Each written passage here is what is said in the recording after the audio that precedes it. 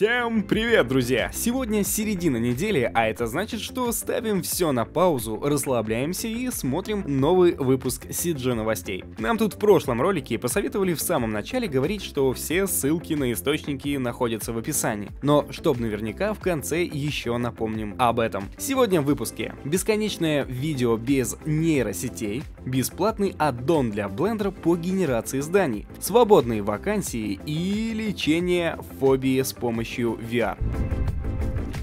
Команда Disney Research Studio опубликовали статью, а к ней и видео, где представили новый метод 3D захвата волос на лице. В основном ролике куча формул и подробных объяснений метода. Кому интересно, можете посмотреть полную версию. Кратко скажу, что суть технологии в четком трекинге и реконструкции волос различной сложности. Причем не просто в статике, а еще и в движении. Только вот один вопрос. Когда выйдет в открытое использование? Если это Disney, то скорее всего никогда. Ребята из Сколково, Яндекс и Samsung AI замутили нейронку Mega Portraits. На данном этапе выглядит круто. Система делает захват движений из видео, накладывает их на персонажа и выдает финальную анимацию. И все это работает на основе одного входного изображения аватара и рефа для движений. Правда, пока проблемы с шеей и плечами, ну и исходный код нам пока никто не даст, конечно же.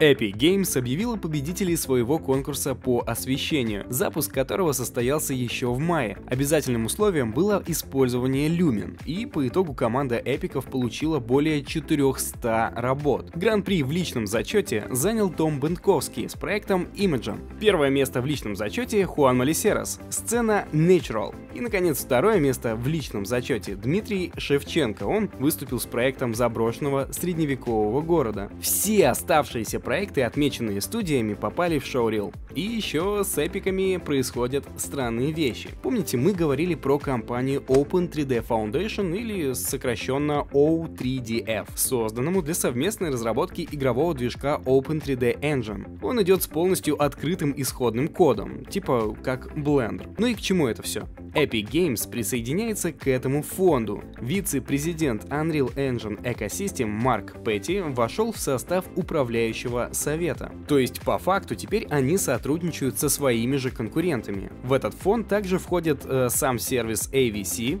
Adobe, Huawei, Intel, Microsoft, а также KitBash 3D, SideFX, разрабы Houdini и некоторые другие. Эпики, конечно, ранее уже поддержали тот же Blender, но тут все понятно, между ними есть Connect, и еще они выделяли грант для движка Godot. Да и вообще у Unreal Engine довольно интересная политика развития. Надеемся, они еще долго не сдадут обороты. Ловите бесплатный аддон для Blender Buildify 1.0. Его функционал предназначен для генерации различного типа зданий, работает на Geometry Nodes и содержит уже готовые группы нод для выбора различных архитектурных стилей. Получившиеся модели можно использовать в коммерческих проектах и даже коннектиться с Unreal Engine. А это значит работать в режиме реал-тайм. Но для этого потребуется Blender версии 3.2. Да, более старые сборки не поддерживаются. Ну и еще можно на халяву скачать 25 текстур пошарпанного и грязного стекла. Все они идут с высоким разрешением, а именно Full HD, 4K и 1920 на 1080. Подойдет для различных наложений фона, заголовков и композитинга. Бесплатно для использования в личных или коммерческих проектах мы наткнулись на интересную новость, что в Якутии появится анимационная студия Тундра. Ее основатель Александр Охлопков. Ранее он работал ведущим моушн-дизайнером в Disney Russia. Тундра начинает функционировать этой осенью, и у них уже намечена работа над проектом документального фильма «Могол Ураха» или «Монгол», ну, не, короче, неважно абсолютно. Кто живет в Якутске, попробуйте пробиться. На сайте есть актуальные вакансии. Вы знали, что в Гонконге появятся первые церкви с метавселенной, аватарами и виртуальными проповедниками? Нет, что ли? Ну, тогда сами погуглите, а мы идем дальше.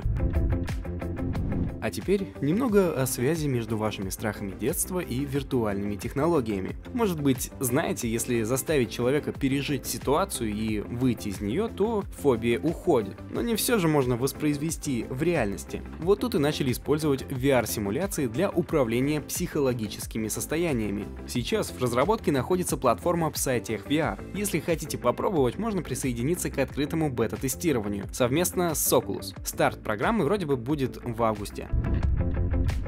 PlayStation Studio Visual Arts ищут художника по 3D-сканированию с опытом работы в 4D сканирование. Причем заявку подкрепили тегами WRAP 4D и рекламной картиночкой компании Russian 3D Scanner. А этих ребят из Воронежа вы уже точно знаете. Мы совместно с ними делали обзор на их софт. Подсказку на ролик оставили вверху. Обязательно посмотри, пригодится в создании персонажки. Ну и получается, что разрабы PlayStation также будут использовать WRAP 4D для захвата лицевой анимации данные. А это на данный момент самый абсолютно охренительный точный метод. И кстати, у них же висит открытая вакансия для инженера-исследователя с опытом работы в 3D-графике. Требования на экране. Заявку можно подать по ссылочке в описании.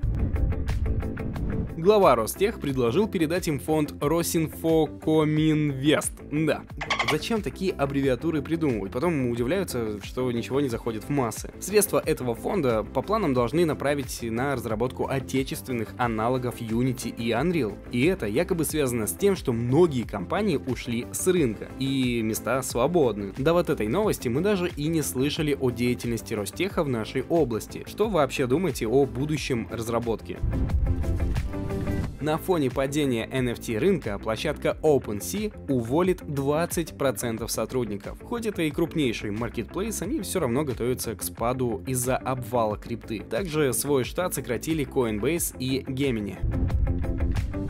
Production Crate выпустила новый бесплатный набор модульных ассетов для промышленных сцен. Там есть лестницы, платформы, фонари, воздуховоды и многое другое. Подходит для Blender, Cinema 4D, Maya, Houdini и Unreal Engine мы наткнулись на офигенный плагин для Unreal Engine. Называется U-Draper. Он предназначен для моделирования и симуляции ткани в реальном времени. Причем с его помощью можно настраивать еще и материалы. И одно из преимуществ — плагин поддерживает одежку, созданную в Marvelous или Close 3D. Недавно, кстати, вышло обновление с улучшенным импортом OBJ файлов, в том числе экспортированных из Blender. К тому же разработчики предлагают бесплатную пробную версию на один месяц. Все подробности на их сайте сайте.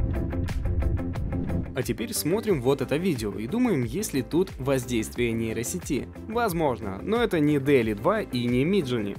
Это все ручками и на бесконечном холсте. Авторы работы указали в описании, сам арт сделан в приложении Adless Paper. Оно идет по типу холста вместо обычной бумаги и ручки, ну и предназначено для всяких заметок. Работает только в Web Store. Но прежде чем покупать, почитайте отзывы. Например, там пишут, что страница всего одна, но зато она ж бесконечная. Может быть, многим оно и вовсе не пригодится. Вот эта идея по использованию программы очень крутая. Всем спасибо, друзья, за просмотр. Ставьте лайк, подписывайтесь на канал. Обязательно залетайте к нам в Телеграм-группу, где у нас есть вдохновение, куда закидывают огромное количество классных работ новички, среднего уровня профессионалы, супер профессионалы, от которых просто слюни текут. Подписывайтесь просто для того, чтобы не пропустить конкурсы, познакомиться с классными ребятками в нашем чате и чтобы ваша работа могла висеть вот здесь вот в конце нашего видео. До новых встреч, друзья мои!